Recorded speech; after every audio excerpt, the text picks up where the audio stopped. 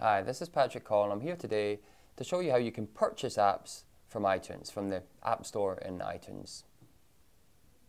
So you may want to get some apps from iTunes. You know you can buy them on your phone, you can buy them on your iPad, you can also buy them with iTunes. Let me show you how. I'm already in the store and you'll see right here at the top App Store.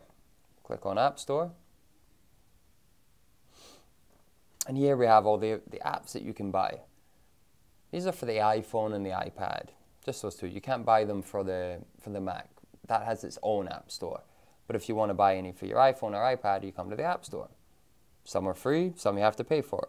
Either way, you want to make sure you have your Apple ID and password ready because it's going to ask you for that when you get an app.